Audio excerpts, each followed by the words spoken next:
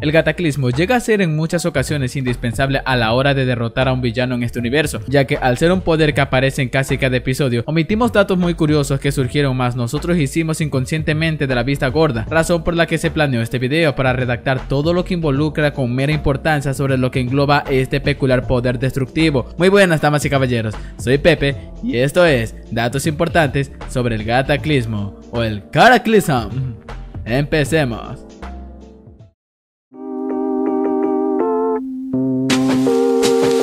Empecemos con las debilidades, las cuales resultan ser pocas para la suerte de aquellos que portan en sus manos este poder, y este lleva siendo el que el poder no se puede apagar o desaparecer bajo ninguna circunstancia. Esto lleva siendo una desventaja para aquellos que son distraídos u olvidadizos al ser propensos en cometer suicidio, no solo en esa clase de personas. El resultado vendría siendo el mismo, pero de diferente manera, cuando el mismo poder puede ser usado en su contra mismo sucumbiendo ante el mismo efecto.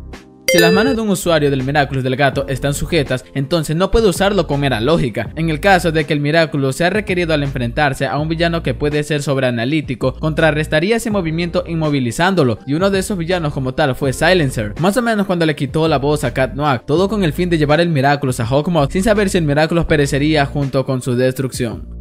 Los efectos del cataclismo también parecen variar según el tamaño de un objeto, así como también debido a que los poderes del poseedor del Miraculous del gato son más refinados y están bajo el control cuando se transforman. Esto nos lleva a pensar que el Miraculous carga una enorme energía oscura la cual de un modo u otro logra canalizarse llegando al punto de volver una pequeña esfera, en el que el portador puede usarlo según sus intenciones.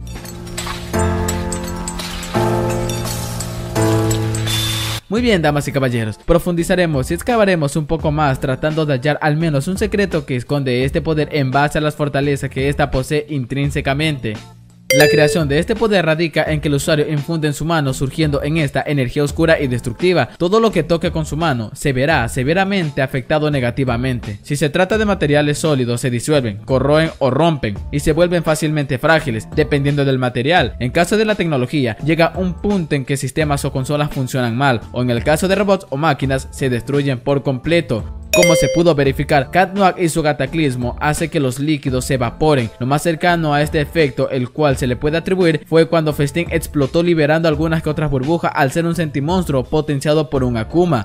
Los seres vivos se petrifican y se desmoronarán en cenizas, y más inclinado está esto cuando Cat Blanc no tuvo control en su cataclismo regido por sus exponenciales emociones que devastó al mundo entero. A lo que quiero llegar es, al ser un cataclismo evolucionado, se vuelve muy volátil y al mismo tiempo difícil de controlar, razón por la que el estallido emocional de Cat causó tal efecto, convirtiendo a las personas en polvo. Lo mismo pasa con los seres vivos como lo son los Akumas.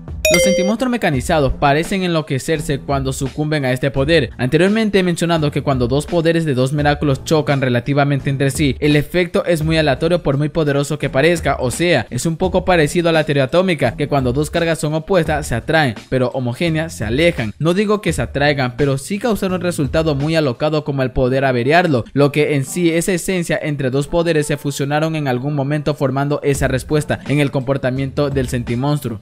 El poseedor del Miraculous del gato y otros portadores de un Miraculous no serían destruidos, pero acabarían gravemente heridos. Esto se vio cuando Miracular le dio una cucharada de su propia medicina acá terminando estar débil, ya que de no ser por el traje, Adrien tal vez sí acabaría petrificado, lo que nos lleva a pensar que el traje de Cat, al igual que el resto de portadores, pueden frenar gran parte de los males de un poder de un Miraculous cuando es altamente dañino y no ofensivo o estratégico, como lo son el Miraculous de la abeja o del caballo. Y por cierto, esto no aplica con Akumas, Posiblemente va para villanos también al tener poderes relacionados a la destrucción.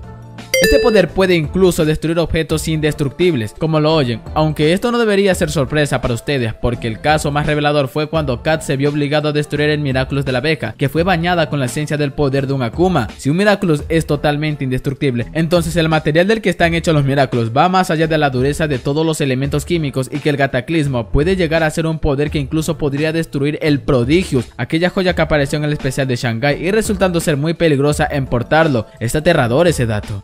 Su poder se puede usar para la autodefensa. Un digno ejemplo son los momentos en que es atrapado por un Akuma como lo fue en el caso de Anansi, pero la única desventaja es que después de 5 minutos ya es presa fácil para su rival, siendo este un movimiento inútil si se trata de sobrevivir. Cuando un usuario del Miraculous del gato envejece, puede tener un mayor control de sus poderes, o es así como lo revelan, pero esto no está fuera de la realidad en cómo últimamente se ha estado desarrollando la cuarta temporada. Si Ladybug puede hacer que su traje tenga notorias modificaciones, hacer que surja cosas raras a partir de su Lucky Charm y crear Magical Charms, entonces el poder de Cat Noir en base a la evolución de la madurez mental del usuario se moldeará al igual que el de Lucky Charm, adquiriendo nuevas formas de usarlo. En el sentido subjetivo, a mí se me ocurrirían unas ráfagas como las hace Blanc o unos discos de la misma energía, quién sabe. No solamente Cat es el que porta este poder, sino también Plug de forma intrínseca cuyo poder impregnado tiene sus datos que se revelarán a continuación.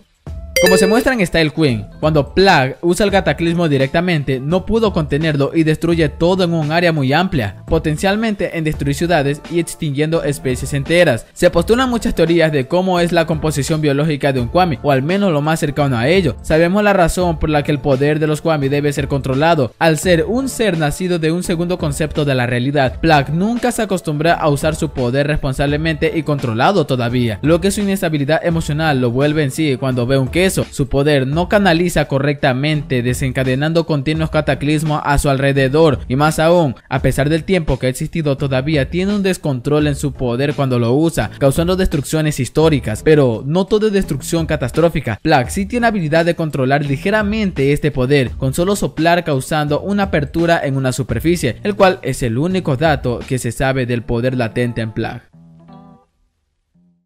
En conclusión, el cataclismo es un poder que relativamente es fácil de deducir cuál es el secreto detrás de su uso, teniendo fortalezas cuyos datos hace destacar notoriamente este poder, asimismo con las debilidades, tras entender que una fortaleza también puede convertirse en una debilidad, equilibrio dentro del mismo equilibrio que pertenece ese poder al realizarse un video como este. Un saludo y un abrazo a aquellas personas que decidieron comentar mis últimos videos, a Diego Jesús Humberto Franco Salvatierra, Mr. Black 348, Luis Rosales, Víctor, BT Reader, Mimi David de Lima, Alex Figueroa, Percha Voladora 15, Vicky Tais, Felix Graham, Family Gamers, Poppy, Chris Chips, Esquizofrenia Natural de la Tierra 2, Juan Arevalo Virget, Martini, Colo, Tortupi Z, Cristina Hurtado, Sara y Jorge Luis Torrentera. Ya sabes que si quieres un saludo como este, simplemente tienes que comentar. Nada más. Pues, bueno, eso fue todo de mi parte. Y si llegaste hasta esta parte del video, estaría muy agradecido que me apoyaras con un like y suscripción. Soy Pepe Detzman y nos veremos en un próximo video. Cuídense.